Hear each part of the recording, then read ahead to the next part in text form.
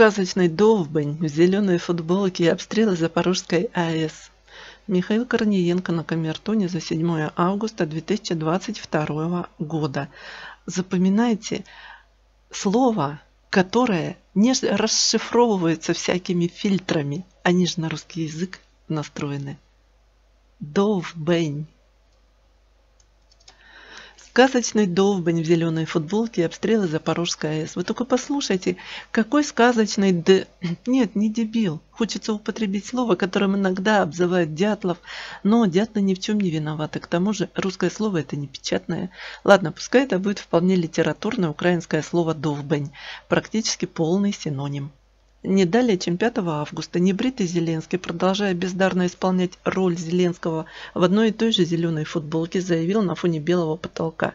Сегодня оккупанты создали чрезвычайно рискованную ситуацию для всех в Европе. Они обстреляли Запорожскую АЭС, причем дважды за день. Это самая большая станция на континенте, и любые обстрелы этого объекта – это откровенное дерзкое преступление акт террора. Россия должна нести ответственность уже за сам факт создания угрозы АЭС.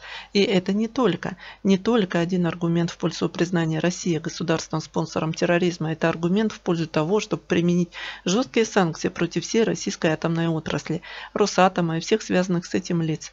Это исключительно вопрос безопасности. Тот, кто создает ядерные угрозы для других народов, сам точно не способен на атомные технологии. Что это? Географический кретинизм? Разве он не знает, что Запорожская АЭС расположена в городе Энергодаре Запорожской области? И как и сам город уже давно контролируется этими самыми оккупантами, как Зеленский назвал объединенные силы специальной военной операции. Или ему не доложили? Или доложили и забыл? Или он хочет сказать, что, как в Донецке 8 лет подряд, сами по себе стреляют? Вот и военно-гражданская администрация Энерготар, которую вовсе не Зеленский назначил, сообщает, сегодня ночью вооруженные формирования Украины нанесли удар с применением кассетного реактивного снаряда РСЗО «Ураган» калибра 220 мм. При подлете к энергоблокам ракета успела раскрыться и выпустить осколочные боевые элементы. В зоне поражения оказался район сухого хранилища, отработавшего ядерного топлива и пост автоматизированного контроля радиационной обстановки. Поражающими элементами повреждены повреждены административные постройки и прилегающая территория хранилища. Важно отметить, что от места падения осколочных боевых элементов и самого ракетного двигателя до действующего энергоблока не более 400 метров. Учитывая тот факт, что роза ветров в данном регионе направлена преимущественно на северо-запад, в случае возникновения техногенной катастрофы, в первую очередь в радиусе радиационного поражения окажутся города Никополь, Запорожье, Кривой Рог, а также большая часть западных областей Украины. Далее пострадает весь континент.